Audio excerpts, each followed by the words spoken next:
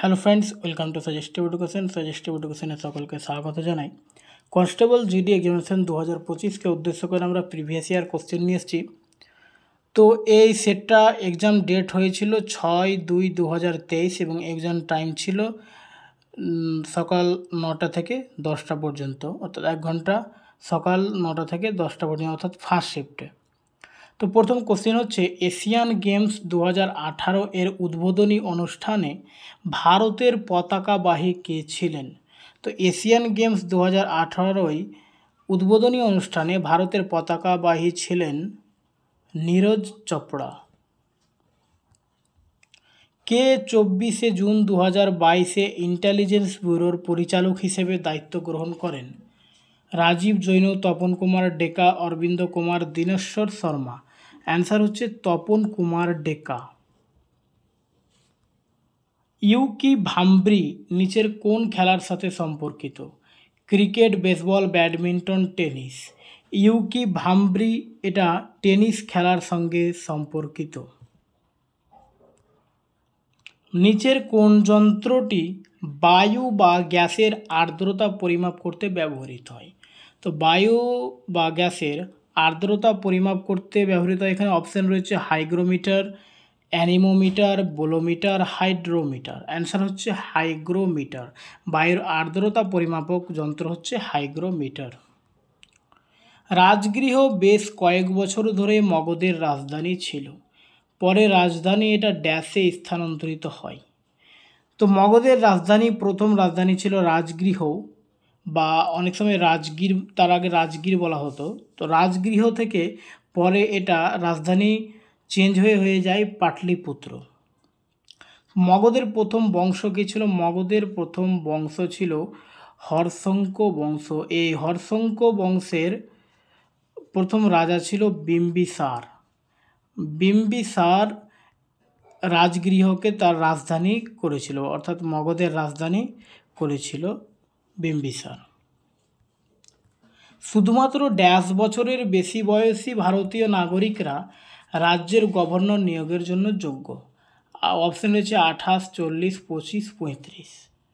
তো দেখো, রাজ্যের গভর্নর নিয়োগের জন্য যারা পঁয়ত্রিশ বছর হয়ে গেছে, সেই নাগরিকগুলোই গভর্নর নিয়োগের জন্য যোগ্য।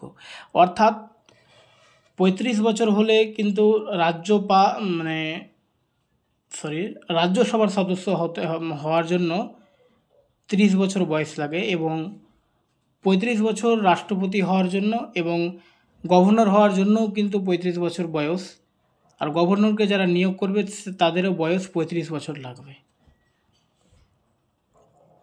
নিচের কোনটি ভারতের স্বাদু পানির হ্রদ নয়?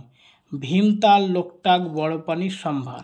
তো সম্ভার লেক যে রয়েছে সেটা কিন্তু স্বাদু জলের হ্রদ নয়। নিচের কোন লোকনৃত্য তামিলনাড়ু রাজ্যের সাথে যুক্ত। গোপাল, লাবণী ভাণ্ড কুম্মি। তো এখানে কুম্মি হচ্ছে তামিলনাড়ুর একটি লোকনৃত্য। আর লাবণীতেও এটা হচ্ছে মহারাষ্ট্র। ড্যাশ দু হাজার উনিশ সালে পাস হয়েছিল এবং এর ফলে ভারতের প্রধানমন্ত্রী এবং অন্যান্য প্রাক্তন প্রধানমন্ত্রীর নিরাপত্তা সীমিত করা হয়েছিল। একটা আইনের কথা বলা হয়েছে। তো এটা অ্যান্সার হবে স্পেশাল প্রোটেকশন গ্রুপ অ্যাক্ট হ্যাঁ special protection group amendment act দু হাজার উনিশ যেটা দু হাজার উনিশ সালে পাস হয়েছিল এগুলো এই আইনটা ছিল ভারতের প্রধানমন্ত্রী এবং অন্যান্য প্রাক্তন প্রধানমন্ত্রীর নিরাপত্তা সীমিত করা। বিজোড়টিকে বেছে নিন, ইঙ্গিত হচ্ছে টেক্সটাইল শিল্প। এখানে বৈদ্যুতিক শিল্প রয়েছে, রেশম শিল্প, তুলা শিল্প, পশমি শিল্প। তো এখানে হিন্টস দেওয়া রয়েছে একটা টেক্সটাইল শিল্প, অর্থাৎ দেখো এখানে রেশম, তুলা আর পশমি, এটা কিন্তু টেক্সটাইলের মধ্যে পড়ছে। তো বৈদ্যুতিক শিল্পটা এখানকার মধ্যে অড আছে, অর্থাৎ বিজোড় রয়েছে। দর্শনা জাভেরি কোন নৃত্যের জন্য পদ্মশ্রী পেয়েছেন? মণিপুরী লাবণী কথাকালী কথক। তো দর্শনা জাভেরি মণিপুরী নৃত্যে তিনি পদ্মশ্রী পেয়েছেন। আর মণিপুরটা কোথাকার? এর নামেই রয়েছে মণিপুরের। আর লাবণী তো এর আগে আমরা বললাম মহারাষ্ট্র।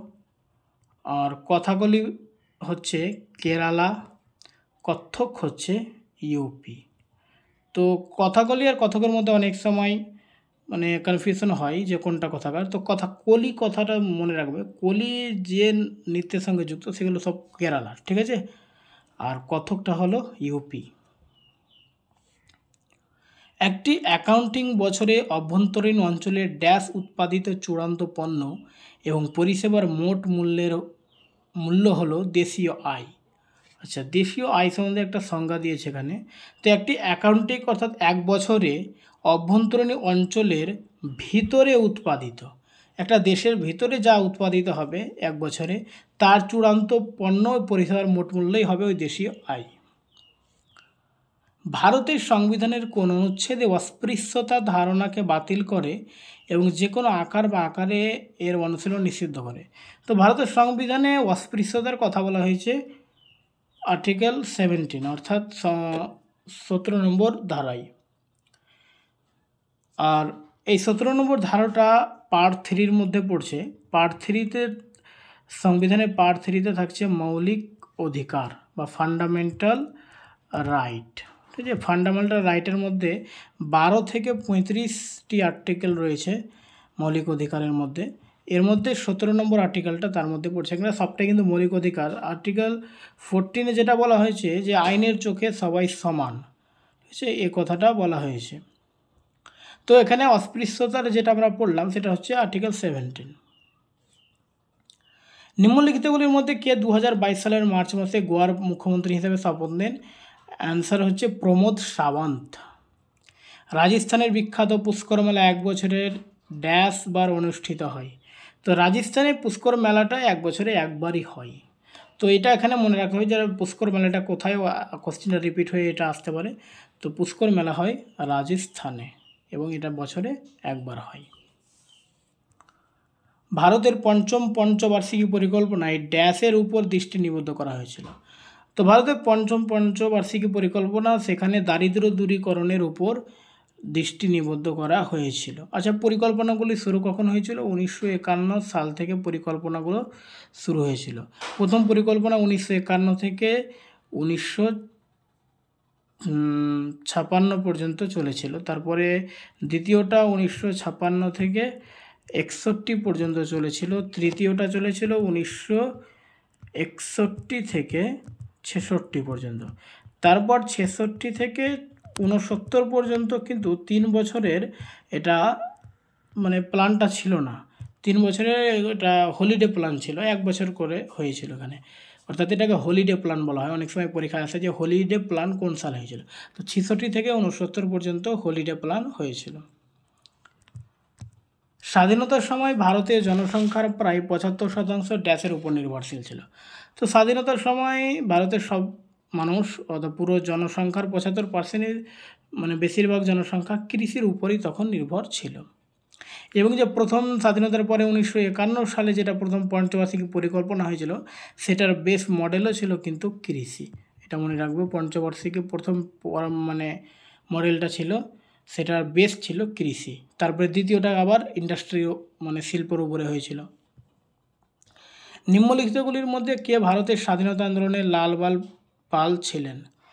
তো চরমপন্থী নেতাদের মধ্যে কংগ্রেসের যে চরমপন্থী নেতা ছিল, তাদের মধ্যে তিনজনকে লাল বাল পাল বলা হয়। তো লাল অর্থাৎ লালা লাজপত রায়, বাল হচ্ছে বাল গঙ্গাধর তিলক।